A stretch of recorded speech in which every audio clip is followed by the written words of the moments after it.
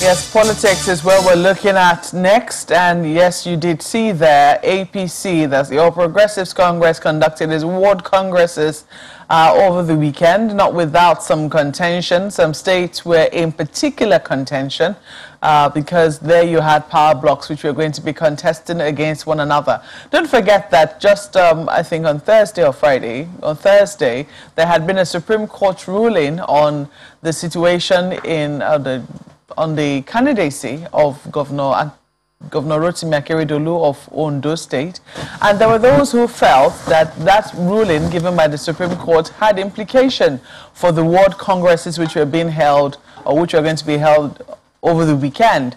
Uh, one of the ministers in the president's cabinet, uh, Minister of State for Labor and Employment, Mr. Festus Keyamo, SAN, had raised issue about uh, the implications of that particular ruling, saying that for what Congress is to be conducted under the leadership of the current caretaker committee uh, headed by Governor Mai Mala Buni of Yobe State uh, could prove a problem for the APC moving ahead.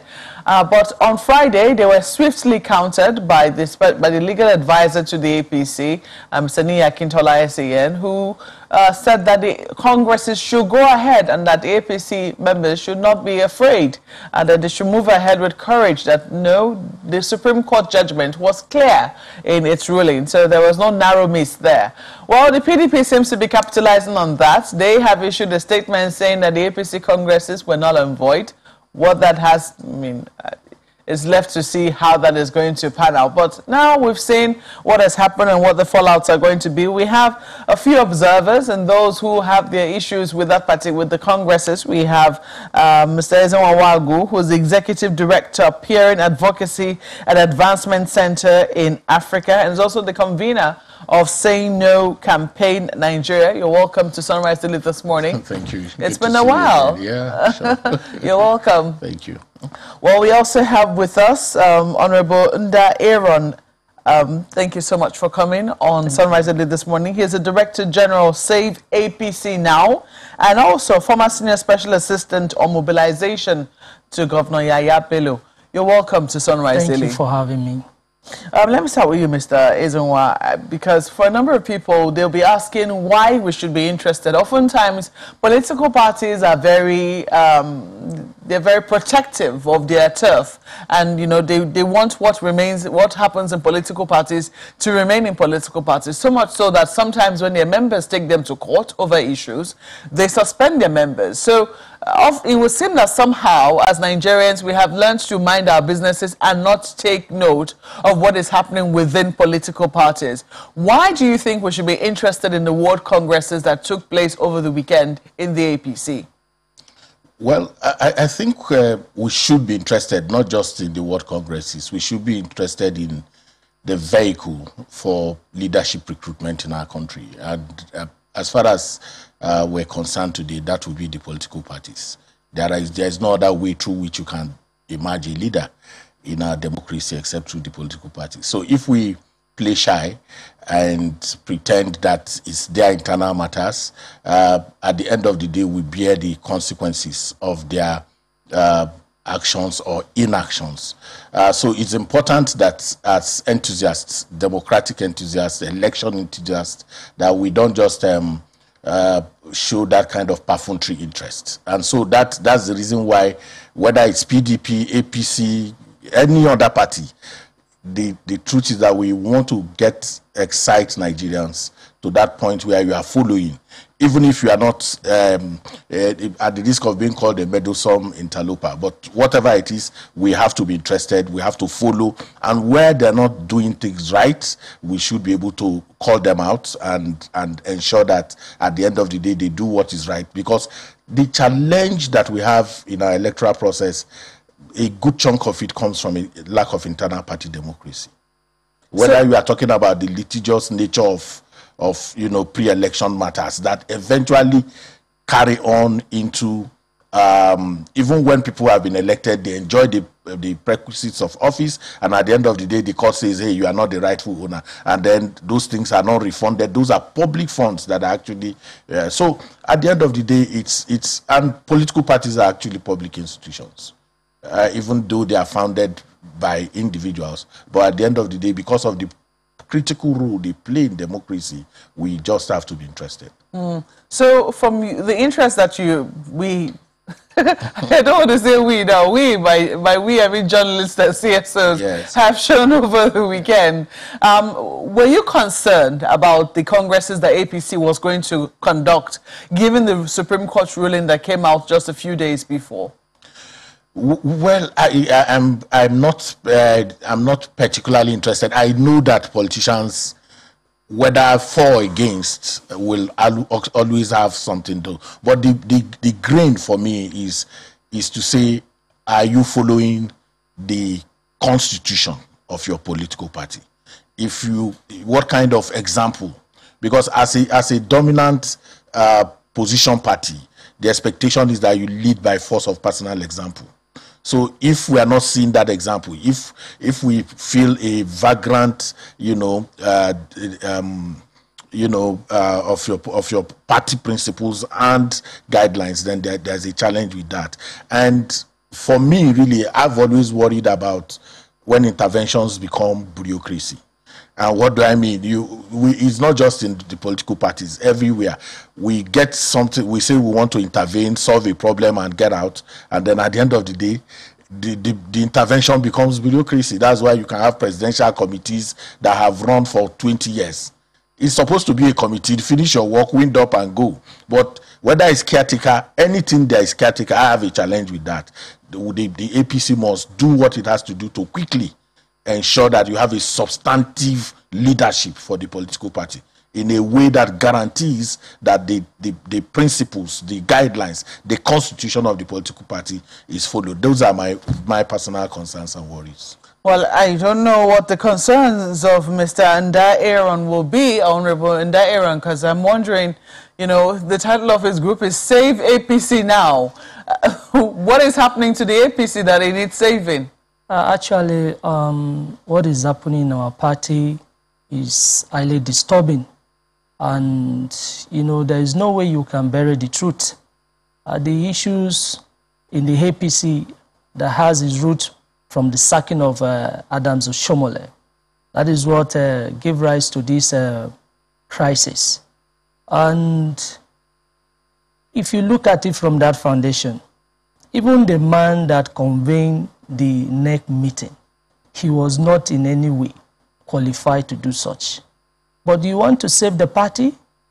You take a decision, you bring in a governor, then how would you be able to solve the problem? You just have to look at it. If Adam Oshiomhole is, not eh, is no longer on the seat, then who is the next person to take charge? That is where the issue is supposed to start from. But, you know, for some political interests towards um, 2023, some people feel that uh, maybe they have the other way they can do it. Okay? And we gave them the chance. And they have done it. But now, the Supreme Court have already shown us the red signal. So what are we going to do?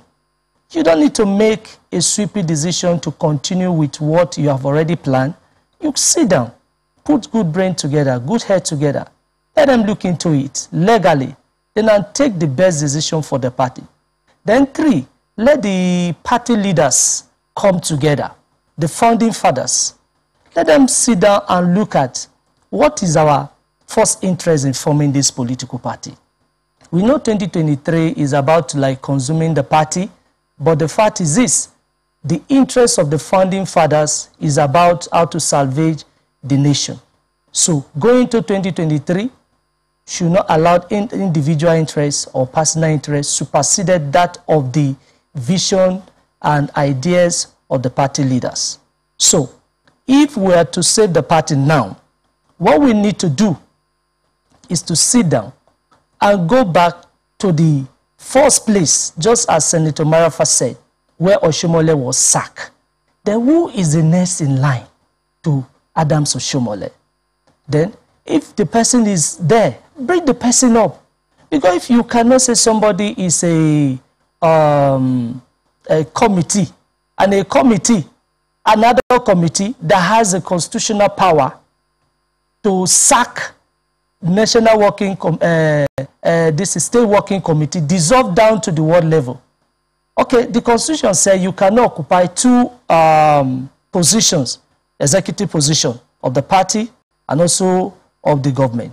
Now, what do you need to do?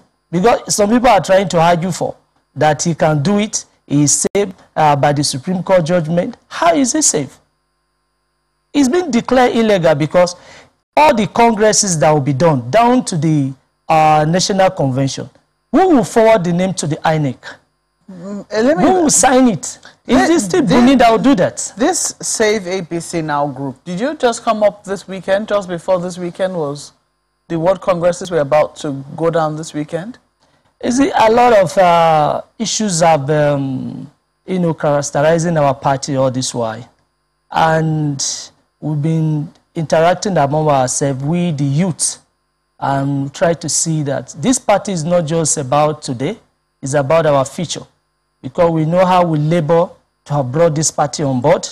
I was the state uh, uh, youth uh, coordinator for Buhari Support uh, Center, and I've also the Kogi West uh, zonal coordinator for Yahaya Bello support group for President Muhammadu Buhari in 2015, Kogi Youth Arise Group. So we have been you know, interacting among ourselves to see that this party become the future for us. The but, specific question is about um, But, you know, within this short period when the Supreme Court judgment came out, and we see counter-argument for and this and that, so we now see that we need to come together as a youth. So this Save APC now is a group that was just bettered immediately after the Supreme Court judgment to see that we can make an advocacy, we can also make persuasions and speak to the minds of our leaders to do the right thing. So and you have fears that the APC is in trouble and the congresses that were conducted over the weekend uh, could spell doom for the party. Is that correct? Of course. Of course, definitely to spell doom for the party, aside of the internal issues that we already having. I take it that you didn't participate in the congresses then, did you? Well, I participated, but unfortunately uh, in our state, we, the critical stakeholders, have been sidelined. And as I'm talking to you... By who? Of course, uh, the leader of the state is not the president, the governor, because I was his former special advisor on state capital and urban development, also uh, one-time uh, SSC mobilization. So in the stakeholder meeting that were called, there was no former appointees that were called. Then two, there are also other critical stakeholders and the founding father, former senator, former House of Rep, former assembly member, even down to his former commissioner. They were not also called to the uh, stakeholder meeting. Then in their various local government, there is also crisis, even among the GYB family, that you know, as we call him in our state, that is Governor Yahaya Bello. In uh, Yagba East, uh, is between the Commissioner of Finance and the SSG. In uh, Ijumu, it is between the Algon chairman, the executive chairman of the local government, uh, Honorable Tafik, uh, versus uh, Senator Smart Adeyemi, um, the assembly members, the commissioners, and other uh, government appointee. They agree that it's going to be on consensus. But of course, some people have taken to their own directions, doing different within them. Then in my own local government, they agree on consensus, but the local government party chairman move from ward to ward and make sure that the chairman, the secretary, the youth leader are all given to him. Then some certain faces are also being removed. So as I'm talking to you, in the states, it is like a three-way uh, parallel uh, congresses. The GYV versus the GYB and also other critical stakeholders who have been shut out either from the appointment or from even being carried along have um, taking a step that this is a party that they founded in the state. And most of all, we have suffered in the opposition for so long. Opposition? You're in the APC? I ah, will suffer in the opposition in our state before the coming of the APC. So, but the APC came in now. We have not really benefited substantively as a party member. A lot of people have not benefited from the... So somehow you are still in opposition? Of course, we are still in opposition. So we now see that now, we don't need to go back to another opposition again. What do we need to do? We need to find a way to save this party now, save APC now. Mm. That is the, the, the, brain behind it. Uh, let me ask um, uh, Mr. Nwagwu. I do not know how this um, consensus versus, uh, you know, election, you know, usually goes within political parties. Uh, that's usually, uh, it's usually a big bone of contention as to whether or not those who will emerge from the congresses will be elected via consensus or they will be elected uh, via elections. We've seen, uh, and oftentimes even the elections, there will be, uh, you know, conversations as to whether they will happen. There will be direct, um, you know, Primary primaries, or they will indirect. be indirect primaries. And we saw how that did a number of parties uh, in uh, in the 2019 elections. Some parties, uh, especially the APC, were not able to field candidates. Uh, some, some of their results were upturned and the opposing political party benefited as a result, excuse me, of, of this type of issues.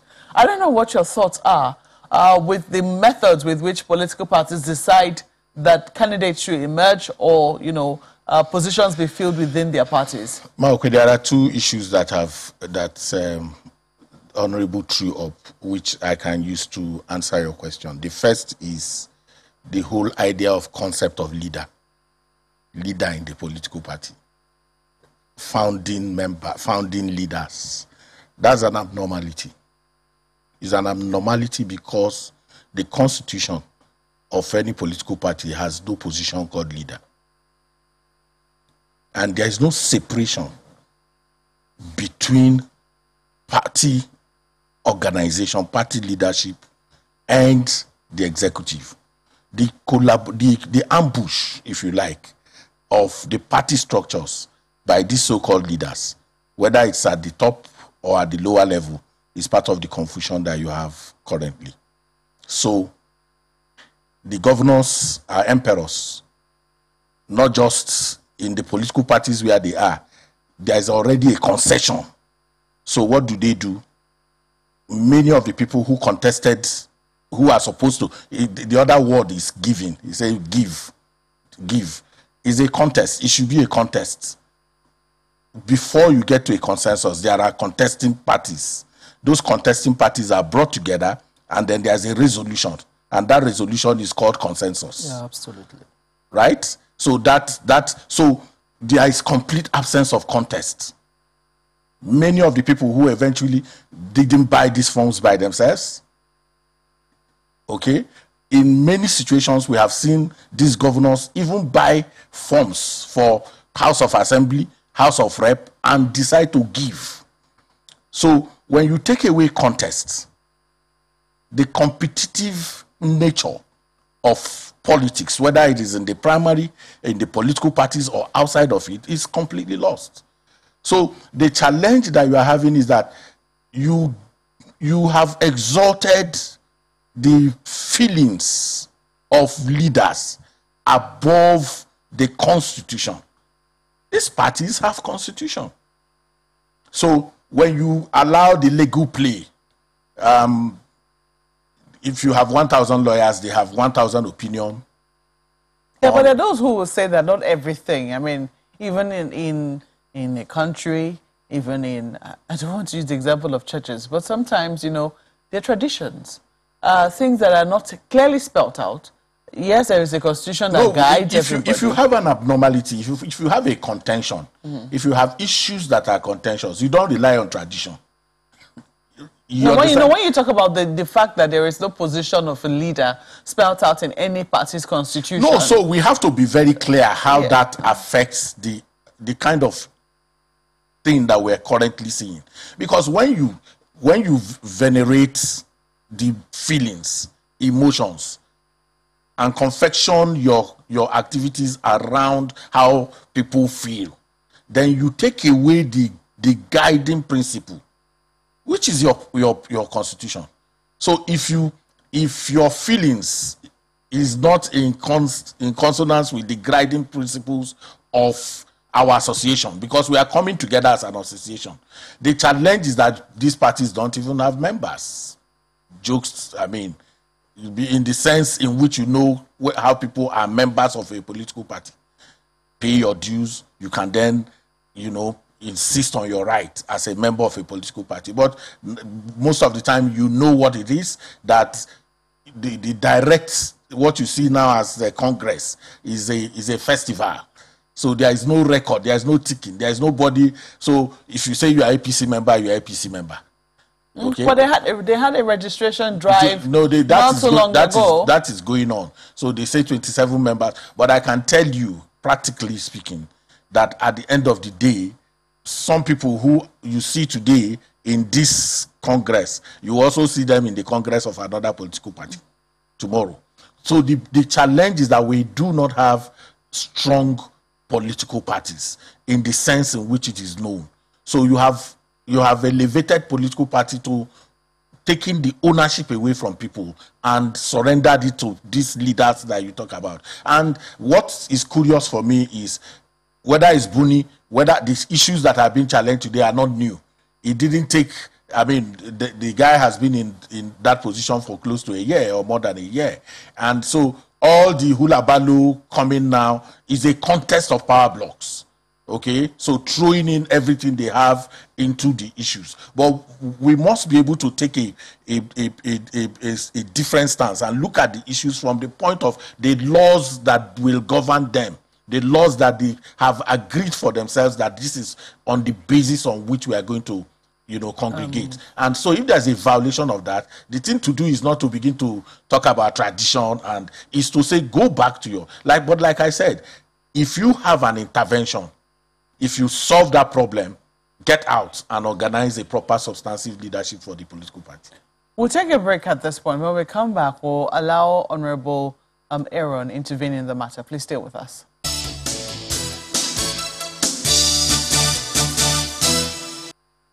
We're examining the fallouts from the ward congresses of the All Progressives Congress that happened over the weekend. And we still have with us in the studio Honorable Ndah Aaron, who is the Director General of the Save APC Now Group, and also Mr. Ezenwa Nwagwu, who is the Executive Director, Peering Advocacy and Advancement Center in Africa. He's also the convener of Say No Campaign Nigeria. So let me quickly come to you, Honorable Aaron. Um, you wanted to quickly intervene on what um, Mr. Ezenwa had to say about uh, congresses and usually what they mean for party politics in Nigeria. Yeah, he was talking about, um, you know, leaders and trying to really uh, take them out of the main issues uh, in contest. Uh, the fact is this, when you have a political uh, crisis, as a political party or a political group, all you need to do is applying uh, a political solution.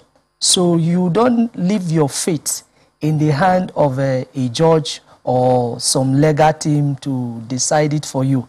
So that is why I say that uh, there is a need for the founding father to come together, uh, the likes of uh, President Muhammadu Buhari, Bola Ahmed Tinubu, and some leaders from uh, the you know, the legacy side. Well, you heard, you heard him say, I am sure that they all, so, we all understood I, I, what so, you meant by the founding fathers. Sorry, the, the fact is this, a political party has a two identity, the natural person and the artificial person. Mm. So these both must go hand in hand. So now when there is issue, it is a human being, it is the conduct of human being that led to this crisis. No, when he says that, you know, there is no uh, role there's no role spelled out for a leader in the in your party constitution. Do you agree with him in that? No, the, the, rules are already spelled out, but people are only trying to manipulate the constitution of the party for their own personal interest.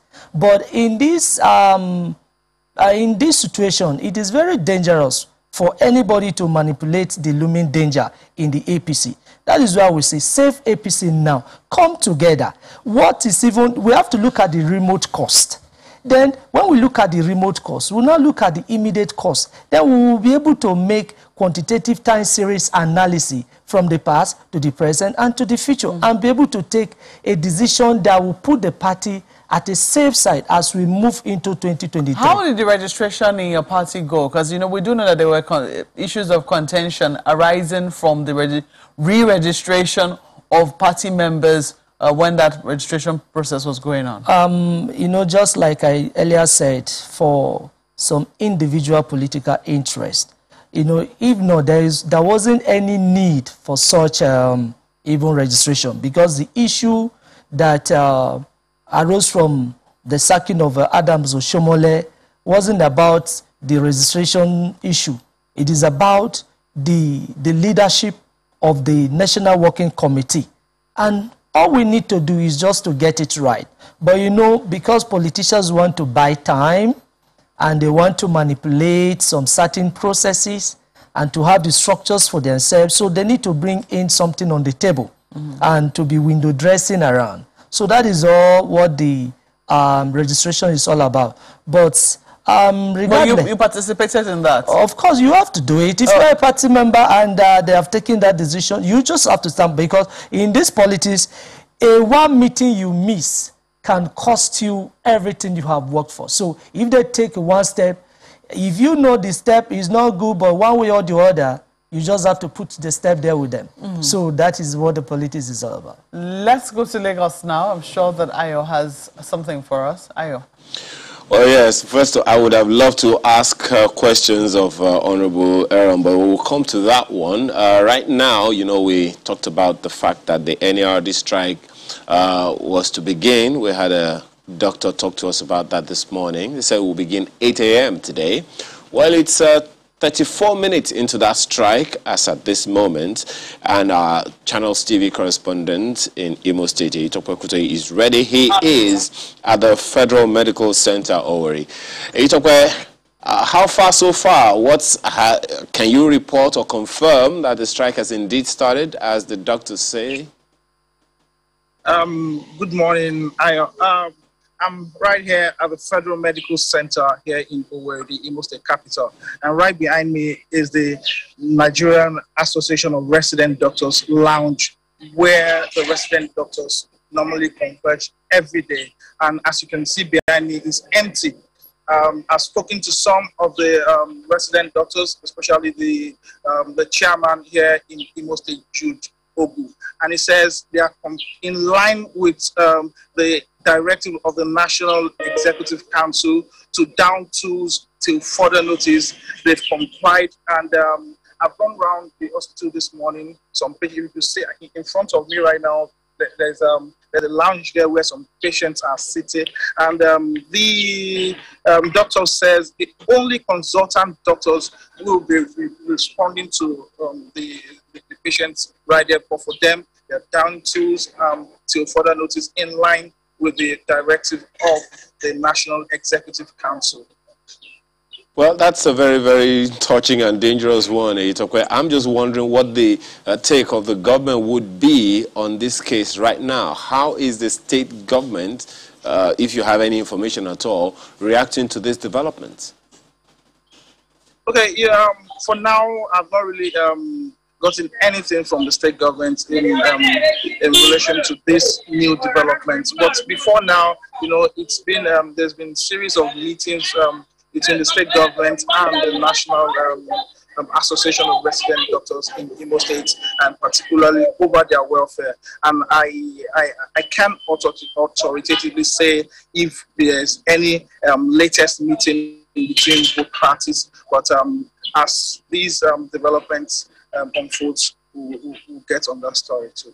Uh, well, certainly we will. And you just mentioned the fact that patients are already in dire straits, so to speak. Um, what do you expect might happen today uh, as the strike begins, especially in terms of healthcare delivery to patients, both inpatients and outpatients?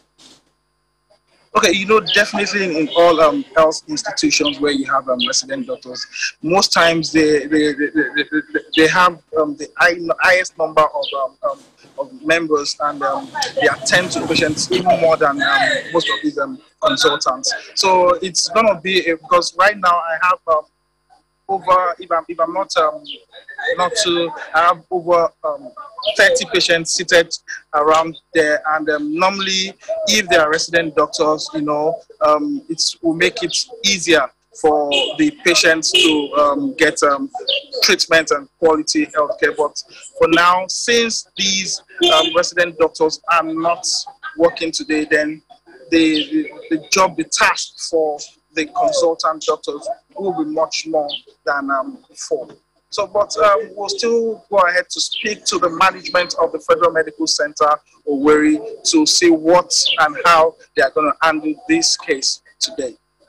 Well, it definitely is something very, very troubling, especially as we hear that cases of COVID-19, especially the third uh, strain, Delta strain, is getting worse by the day. We can only imagine how people are taking this on board.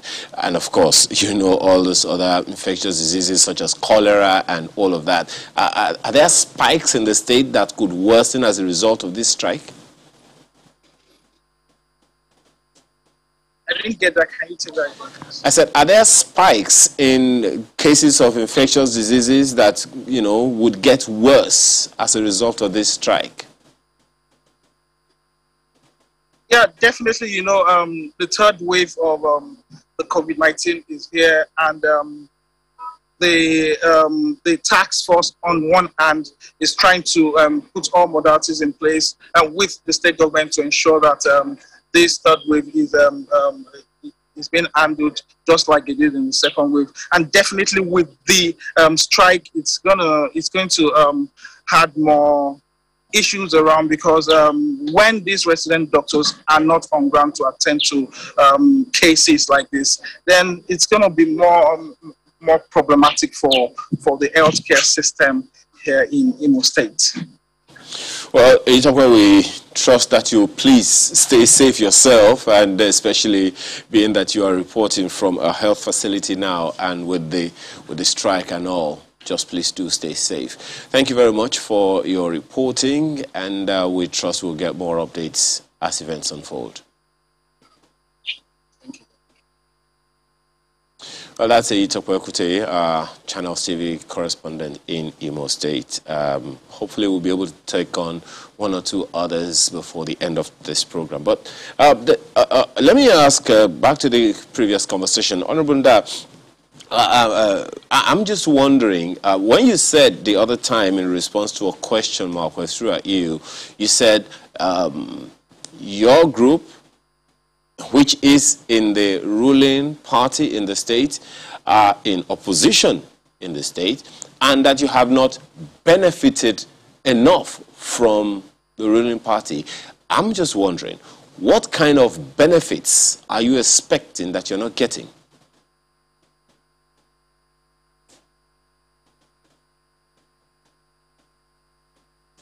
Hello, can you hear me? Can you hear me? Please go ahead if you can hear me. Yeah, yeah, yeah. Is it number one?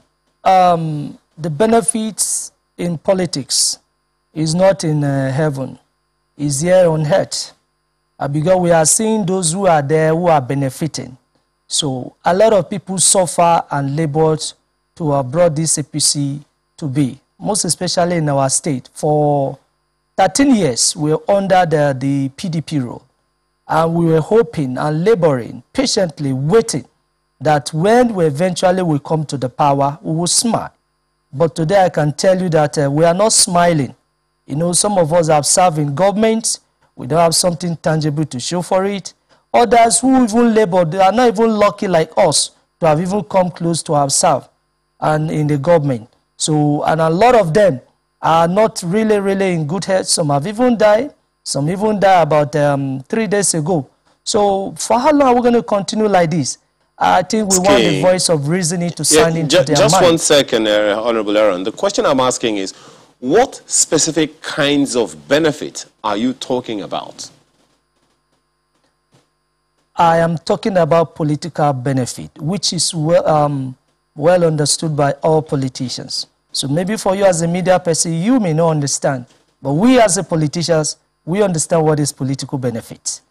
And again, another side of it, um, a lot of the founding members you know, are not being just, carried just, along. Just a second, a Honorable Aaron. You know, there is also a lot of talk about uh, so many people wanting to get into politics and knowing how to uh, contribute their quota to service of fatherland. So that's why I'm asking, maybe if it is, uh, because I'm wondering, I, I, thought that, I mean, um, dividends of democracy should go around to everybody, not just to the politicians. So that's why I'm asking if you would be specific specific, if, if you wish to be specific, exactly what kind of okay. benefits are you talking about, given that dividends of democracy is supposed to go round? Do you, would you say that these benefits also include uh, dividends of democracy to all the people, or you're talking about something exclusively for the politicians? Uh, just like you said, the dividends of democracy is supposed to go around. And if you look at it, you take it in a two traffic.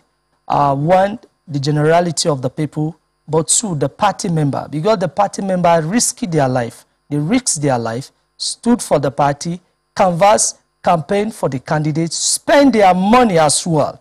Nobody is trying to say that you want to get something illegal from the government, but there are something legal from the government that you can get. There are patronages you can get from the government. Some of us are business people. Some of us, we have company that run businesses. But, you know, there is no patronage. Few people are only benefiting from the system. And this is not only in Kogi State, it's also happening at the national level.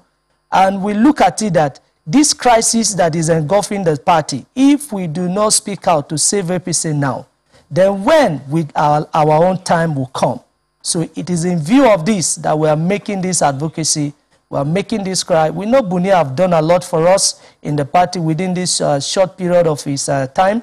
Um, but, you know, the right thing needs to be done. The, the, the, the feature of the party, the party is bigger than anybody. The party is an official body, and the party must, must also outlive the Mr. President. You could also be hearing different versions of a prophet of doom. This one say APC will crash. This one say APC will not live before the Buhari. But the fact is this, if we don't do the right thing, this prophecy might come to pass. So on the issue of the benefit, just as you know that dividends of democracy go around to the people, it also have another side that come to the politicians because it is the politicians that risk their life to stand for the, the candidates of the party, work for the party, spend their money for the party. So, and most politicians you see, they have one area or the other that they can function, they can do business with the government, either on the capacity of being uh, appointed or on the capacity of being patronized. So, and the major challenge and the cry of most especially uh, Nigerian youth, they have not been rewarded. They have not been recognized adequately within the party which they labor and enthroned or bettered. So if you check one of the chunk groups of the people that brought President Muhammad Buhari to power are the youths. But today, if you look around, you hardly see the youth in any prominent places. Mm. And the, Let uh, me quickly ask Mr. Ezenwa what he makes of your your expectation. If this is a, if these are the expectations that politicians have, and oftentimes, you know, this is the reality. Um, how are political parties expected to manage these expectations at the same time manage expectations of the people who elected them into office? Well, I think there is the first uh, leg of the conversation, which we didn't uh, completely trash the issue about leaders. The, the constitution of political parties have board of trustees. So it is still within the confine of the political parties to take different hierarchy. So what happens is that when you subvert the law and order regime within the political party, you now want extraneous uh, influences to help you resolve the issue. The board of trustees is the is is where you find those kind of people that he's talking about. And so, if you have issues with the National Working Committee and the the NEC, the National Executive Council, which is the highest organ of the political party, you can you can you can go to the board of trustees. The board of trustees can then give you the powers to, you know, constitute some of those issues that we are talking about without going to extraneous uh, issues. Now, the, the challenge and the burden of our of our governance system is that it is it is predicated on cronyism and, and patronage, and and that that itself is the big challenge. Okay, people yes, if, if you, uh, the idea of contributing. Mr. Ezenwa, I'm going to let you expatiate on your point when we come back from this break. We really need to take this break. Well, just before we went on that break, Mr. Ezenwa was about to shed some light on the challenge we have with political parties. So I was talking about cronyism and patronage and, you know, how to balance that with merits. Mm. Uh, that's the challenge of governance. That's the challenge of leadership. Um, so when when you have a warped sense of entitlement, uh, you, you, the, the, involvement in politics is not an investment. It's it's like uh, your, uh, your colleague from Lagos was saying. It's about also service. It's about service. If you have a second address, if you if you have other things that you do, you understand. You you you you moderate those expectations and then place it on deliverables for public good. What does that mean? You say it's not an investment. Is that is it a, is not an investment or it should not be an investment? It is not. If you if once you have the mentality that is an investment, that's why people go to sell their houses. When you hear banks funding, uh, you know, politicians. No, these are mis. So this is a reason why people still want in public office. How much is the in the the real the the real appurtenances of this office? What does it come to? The real official as as SA special advisor. What is your salary? Okay, but so if the reason you are invested, you've been made SA and you are paid that salary. Okay, that's not that's not. People sell their houses people like you said the banks invest you know the the rise of negative godfatherism all of those things are part of the challenge that you are seeing because people now see it that okay is putting this and get this that expectation needs to be cleared that if we continue like that the challenge that we have is that until we understand that if you benefit in the sense in which i understand it from what i'm hearing here now if you benefit and have a castle, okay? But the hospital within your community cannot serve the general public. And then you, when you have allergies, you travel out of the country. The majority of the people who live within that environment cannot access good medical care. It becomes a challenge for you.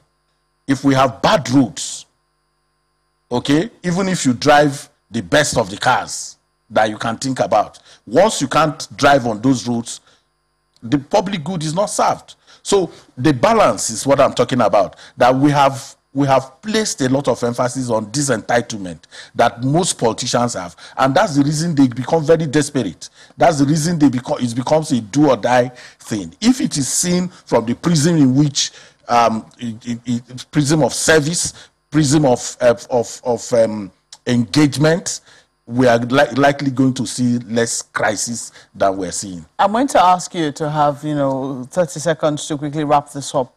Um, what you, do you agree with his? And if that is the situation, how do you think we can come around it? Um, I don't really agree with the situation, I mean, with his uh, submission uh, in, in total, because the, even the constitutions recognize the competitive nature of running a political party. So, and you also need to fund such a political party. And it is people who brought out their own personal resources to invest in the political party. If you listen to... He says it, should not, should be, it should not be an investment. Well, there is, okay, how are you going to run it? How it, even it should not be seen as an investment. It is not being an investment, rather, but the issue is that there is something you need to contribute to make it work. So it is not about investment per se, but it's about contribution for the success. You need a structure, you need a vehicle, you need mobilization, you need publicity. How do you get it? There is no any allocations from the government to a political party to run the day-to-day -day businesses of the political party. So in such a way, people make personal uh, contribution so to run the party. And if they do that, when the success come, of course, even the constitutions know that you become a president, you become a governor, you become a chairman. The constitutions expressly spell out what you earn. So it is not a charity organization. Mm. Well, I know that this conversation will go on uh, because the Ward Congresses have just been concluded. We haven't heard the last of them. Uh, and I know that this conversation is something that will be very interesting to, uh, should be of interest to majority of Nigerians. Let us see what eventually comes of it. Thank you, gentlemen, for coming on Sunrise Daily this morning. Honorable Unda Aaron, he's the Director General of Save APC now, and also former Senior Special Assistant on Mobilization to Governor Bello. Thank you for coming on Sunrise Daily. And uh, Mr. Ezenwa Nwagwu is the Executive Director, Peering Advocacy and Advancement Center in Africa, and also the convener of Say No Campaign Nigeria. Thank you for coming on Sunrise Daily as well. Thank you. Thank you very much. We want our leaders to do the right thing. I'm sorry, we're totally out of time. Thank you so Oh, much. Well, we have a few emails now. This is from Frank.